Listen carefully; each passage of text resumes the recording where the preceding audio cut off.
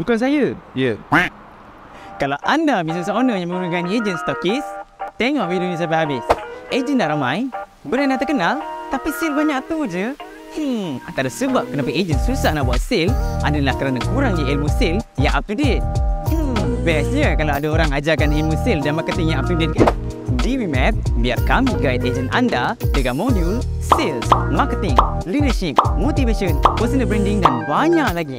Tak payah pening dah, biar WeMap je ajarkan. Jom, saya tunjukkan feedback daripada ejen yang bersama dengan WeMap. uh, best uh, Alhamdulillah uh, sangat-sangat apa berpuas hati lah sebab okay, uh, Sedelma akan ajarkan cara macam mana kita nak handle rejection hmm. macam mana kalau customer blue tick so apa yang first impression yang kita kena bagi kat customer so semua yang diajar oleh Sedelma tu sangat berpuas hati Okey, so kalau satu per sepuluh nak bagi berapa? 10 Sepuluh per sepuluh. So, dah ready nak naikkan sale ejen-ejen anda? Daftar sekarang. Daftar, daftar.